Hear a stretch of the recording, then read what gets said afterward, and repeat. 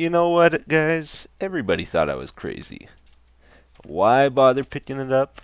Why waste your time with it? You're never going to use it. Looks terrible. You can't build anything out of it. Well, I I tell you guys, you never know.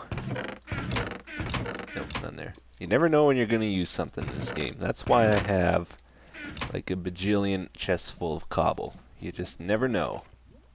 Don't need it now. Someday. Alright, I want to try it out. We are in the new snapshot. I'm I'm checking it out. I'm very excited about the redstone update. Lots of cool new features.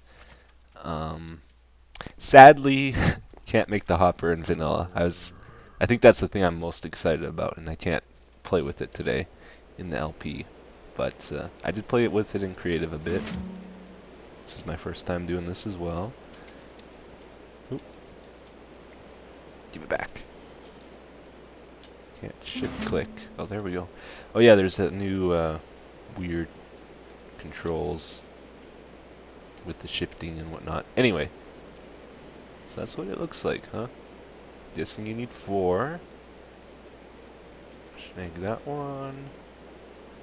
And... Booyah! Oh, get XP, that's good. Netherbrick. that's awesome. So in my LP, I actually don't have a lot of LP world. I don't have a lot of netherbrick. I think this is about all of it, actually. Yep. So that is really nice to have here. On Mindcrack, I have tons of it, so not as big of a deal, but I also have a lot more netherrack there, too. Um, but as for today, I was walking through here, and it's like, what can we do with the new features? And I, I saw this, and I saw this. It's like, how about this for a, for a good uh, redstone update project? Let's let's try to get a light sensor that will light this up during the day because it's it's pretty dark these leaves light these all up during the day and at night they'll go dark because you know it's not bad if they're dark like I don't mind it like this but we can have a little visual indicator because down in my cave I have a hard time telling what time it is I got a few clocks around the place to help but yeah so I'm gonna head on over to the nether and see if I can find some of that quartz crystal. I have also haven't seen that myself, so I'm I'm curious to see what it looks like. This might be a new fortress. I'm not sure. Uh, I'm trying to trying to. Oh, what is that? It? What is that?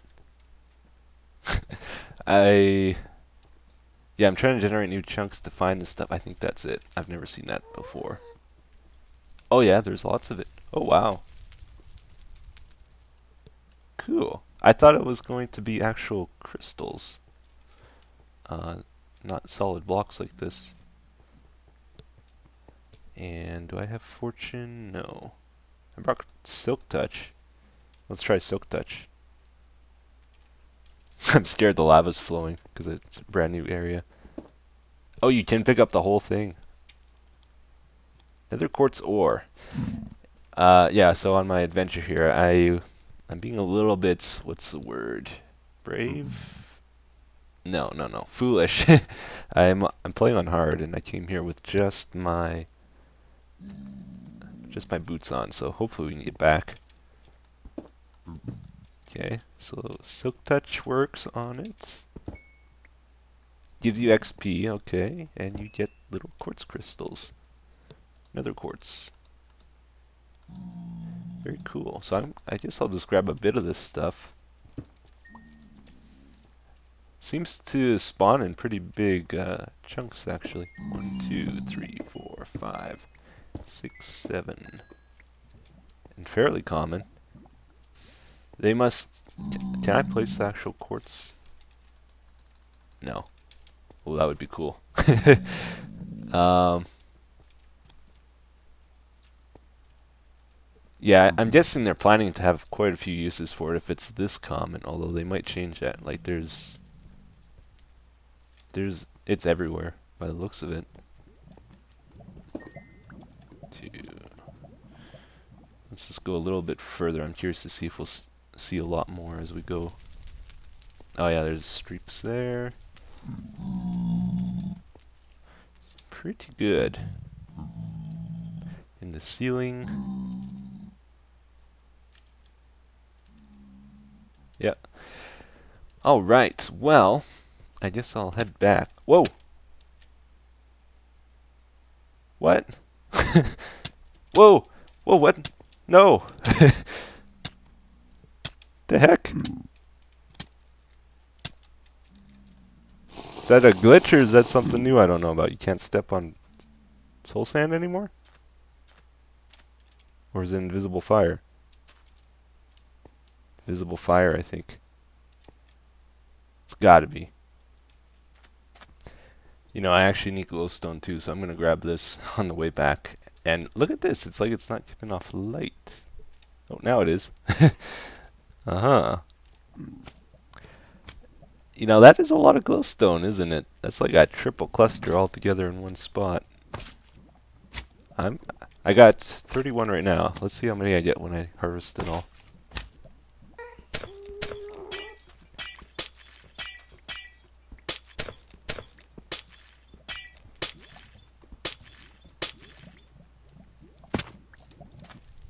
And the final count is two stacks and 21. I think I had 31, so that's that's 118 from that one little spot here. All easily, all easy to get to, and I think a couple even burnt in the lava, so pretty good. Should keep us going for a while.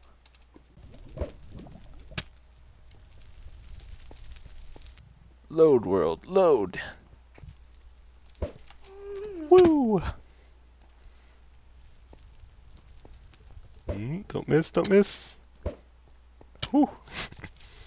and we are home. Yeah, so there is a few things I'm curious about with this new ore. It's a new ore. we got to figure out what you can and can't do with it. Uh, since it's netherrack, I'm wondering if you can actually light it on fire and have it stay lit. Oh, what am I doing? Not in here. Let's go somewhere else. Oh, that was really dumb. This looks a little bit better. Alright, let's try this out. I think... What, yeah, I got nothing that would burn above. Seems to be... Seems to be staying lit. Let's just watch it for a sec. I don't... Oh, it went out. I don't like... Uh, the inventory's all messed up. I'm having trouble clicking things. I don't know. And it like lags weird. Like I know they added that feature, but I don't really like it.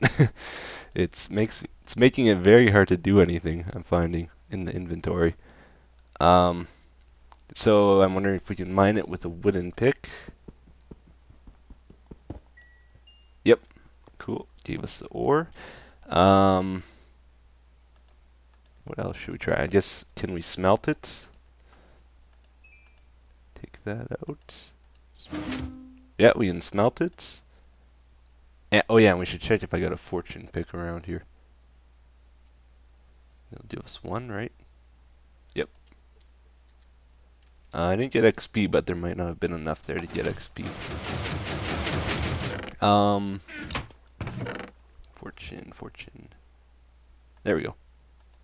Alright, this last one we will try fortune on.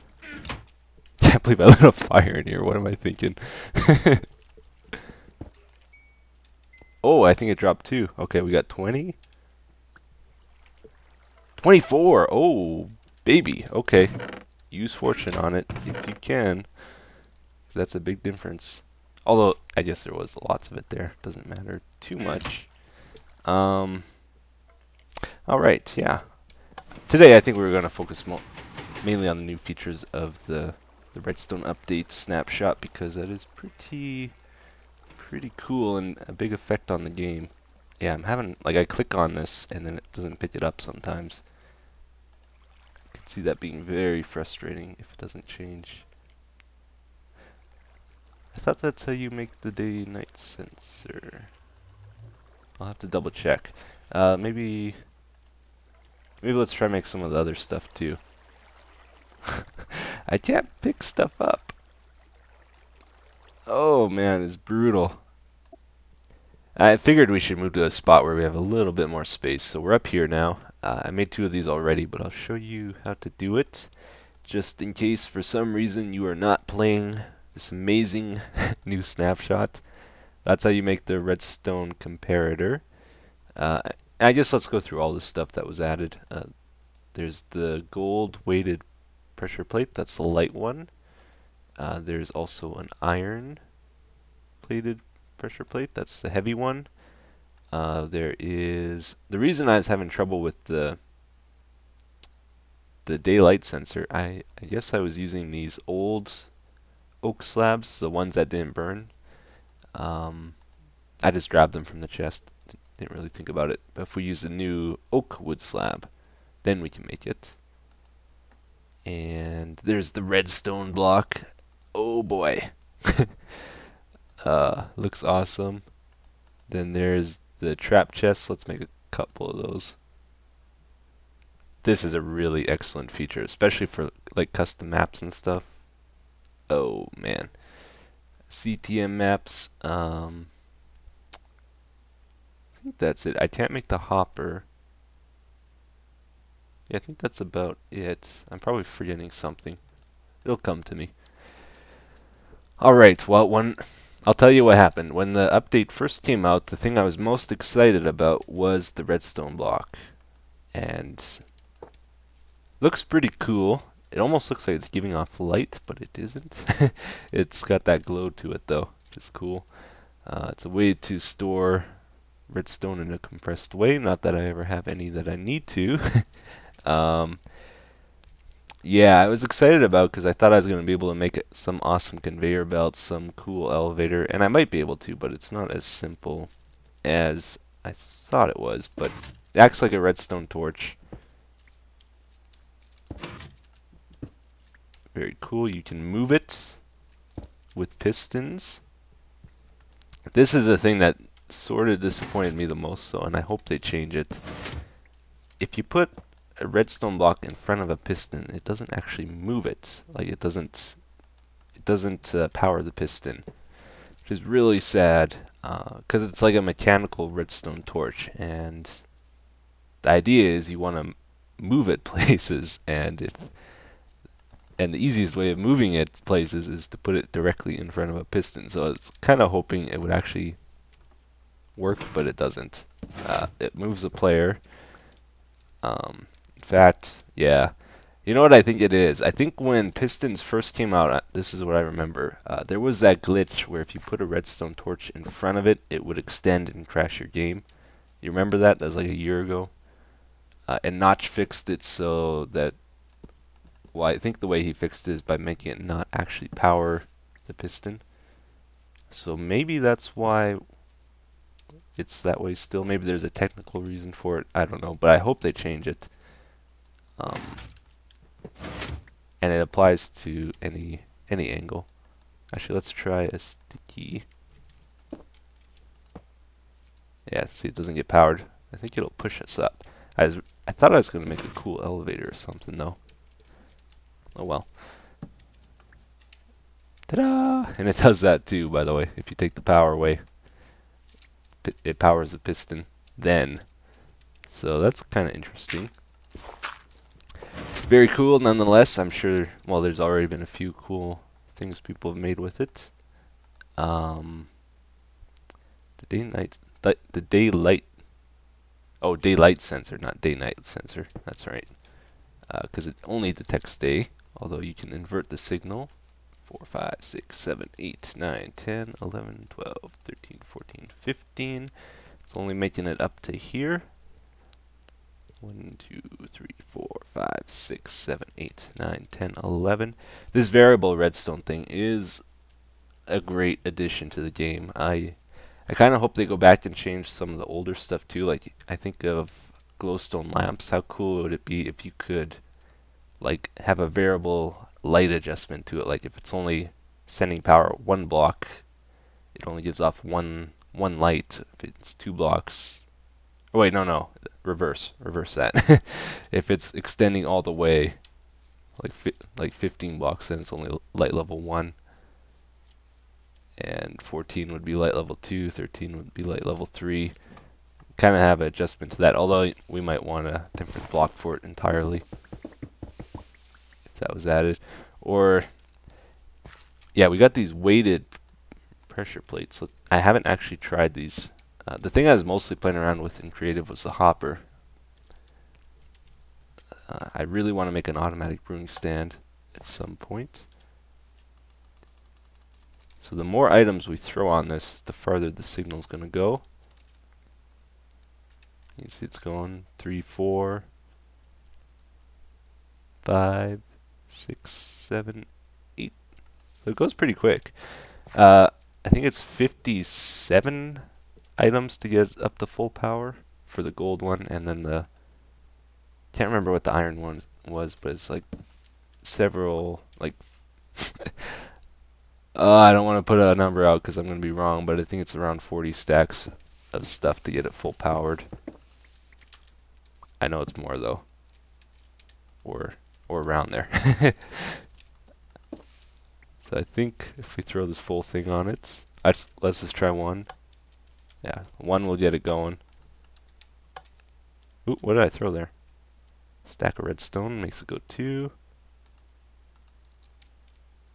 Three. Pretty cool. Only for items though, not players. What I kind of hope they do, like we have the stone pressure plates that detect uh, players and mobs and stuff. I kind of hope they apply this variable redstone to it as well, and maybe give each mob its own special weight. Like like chickens would be a light mob and cows would be a heavy mob and we could use that to detect mobs. Or like a baby cow would be lighter than a an adult cow. That would be awesome. So yeah. You can see it's it's nighttime and this daylight sensor is not putting out a signal at all. Uh, throughout the whole night it doesn't put out a signal. It's only like early sunrise to late sunset that you'll get a signal from it. Oh, oh, I thought this was a creeper. uh, speaking of that, let's just try this out. I want to. I haven't actually tried it underground. And for what I wanted to build today, we'll be putting that underground. Alright, so it should... Uh, might need a direct line to the sky. Oh no. Yeah, because it's early, early sun rise because we just slept. So it should get further and further as the day goes on. And then midday it's at full strength. Pretty sure. Is it at 2 yet? Uh, it's still at 1. Alright, anyway, moving on. We have redstone comparator. Compare. Yeah, comparator. I think I'm saying that right. Another excellent addition. Uh, it adds. There's a lot of functionality to such a to a single block, which is what I like about what Reds, what uh, Mojang does, or what Notch did. You know, it just takes simple concepts and you can use them in so many different ways. Uh, so this thing, it will compare two redstone signals, uh, the length of the redstone. Uh, so this is the main side here, side A as people call it. If I put, wait a minute,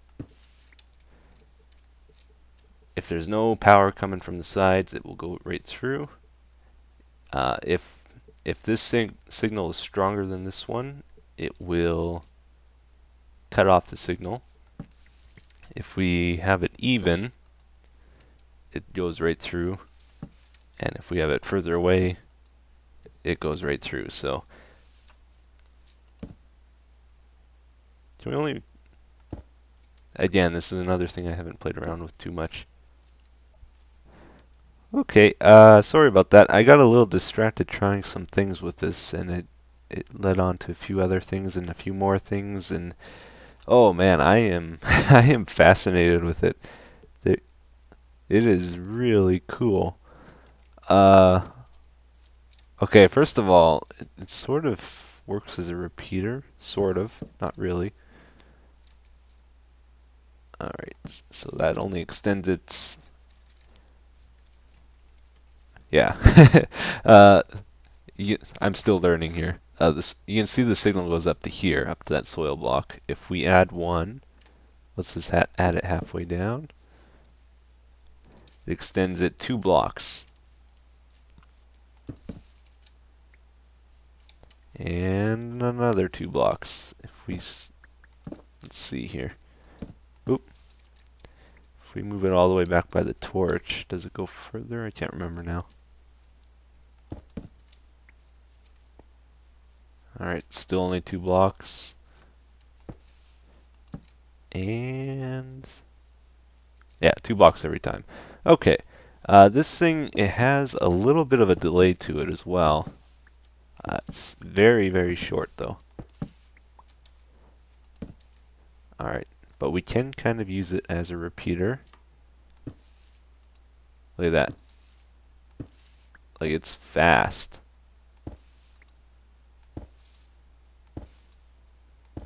Can't tell if that's a visual, if it's visually updating or if it's actually uh, pretty close to instant. I can't can't really tell. Maybe let's put torch at the end here. Oop. I like I don't want to use my, my inventory at all anymore. I hate it so much. it's so hard to do anything uh, with it being all glitched out. Alright, Yeah, there is a delay to it. That's what I thought. I, uh, okay, I was doing some weird stuff with it. If you, if you do this, like that, you put a torch down, it stays powered, right? Kind of like a repeater does. If you remove the torch, you can see it slowly fades out. really neat. If you extend it a little bit further, though, Is that too far? It'll start pulsing like this. That's that's really cool.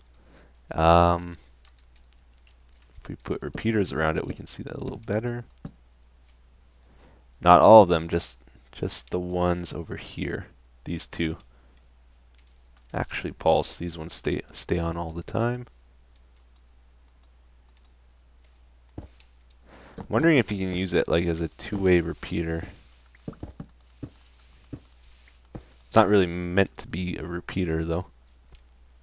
Oh yeah, also you can use it as a clock. Uh, let's let's set that up. I'm I'm wondering how it compares to a redstone clock if you make it go faster stably. Alright. Do this.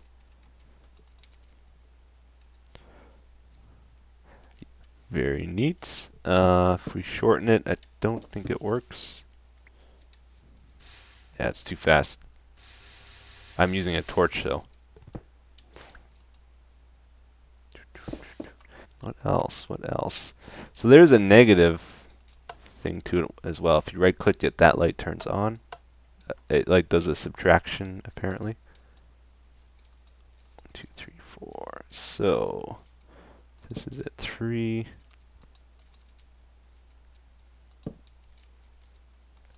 Probably gonna have a hard time demonstrating this because I don't exactly know what I'm doing. I think B, yeah, the other side has to be further out, is it? Oh, oh, that pulsed. You see that? Hmm. That's a monostable circuit right there. That's what I see. That's a very simple monostable circuit if you just want a quick pulse. Yep. that's uh, that's kind of cool. But you can turn that into a T flip-flop and all kinds of crazy things. Yeah, let's use a real piston, uh, sticky piston here. Learning as I go. I should probably just cut this. I'm I'm I'm not very focused at the moment. I'm just trying random stuff. Um Okay, what was I doing? Just this? Yep. Hmm. Yeah, here's a pretty simple T flip-flop you can make with it. Piston 1. If you use a redstone block, have this on the subtraction. Off. On. Off. On. And it's sort of adjustable. Like if you decided I don't want it to be a T flip-flop anymore, turn that off. And it's not. Or another thing you can do is just change that. And now it's not a T flip-flop. So that's kind of cool. Okay, it looks like there is a way of making a stable clock out of this that is super duper fast. If you if you put these on subtraction and do a loop like this, woo! so as long as it's getting power, it'll pulse like that. It's very very fast. Uh, does cause a lot of lag though, so it's not really a good thing. Also, there's another cool thing you can do with these uh, using dispensers you just hook up a dispenser to it, put items in, power it, shoots it out extremely quickly. I think as quick as possible. That's really cool. Uh, I think in this patch also they fixed the dispenser bug, which is... Uh, I'm kind of sad about it, to be honest. Oh, maybe not. Okay, sweet, they didn't. I was worried they did. I thought I read they did. Whew. Sweet. that means my fireworks show should still work on the Mindcrack server. Alright guys, I came up with a pretty fun way of doing an RS NOR latch here as well. Just two sticky pistons and two redstone blocks. Uh, if you press it, nothing happens. If I go to this one, switches. Doesn't matter how many times I press it, it doesn't switch again. Uh-huh. Whoops. Oh man, it's crazy. This piston, he wanted this redstone block, right? But when he went for it, this guy, he wanted it too, and they both reached for it at the same time, and and they're they're best friends, and they can't decide who gets it. So Nobody gets it. Uh-oh. Now we've really done it. Mm-hmm. Yep. There's your problem. Nobody. I don't usually get motion sickness, guys, but uh, even I have my limits. And then the three Pistons, they start to play a game of keep away. The guy in the middle, he got the redstone block. And the guy on the left, he's like, give it to me, give it to me. And he puts his arms up to try take it. And then the guy on the right, he does the same. He puts his arms up to try take it. And the piston in the middle, he's like, no, you can't reach it. Rain, get lost, man. Seriously. Nobody likes you. Thank you. Okay, I thought this was kind of interesting. Uh, these are like exact opposites. And you know what happens when you do this, right? Burns out. What do you think is going to happen if I do it on this one?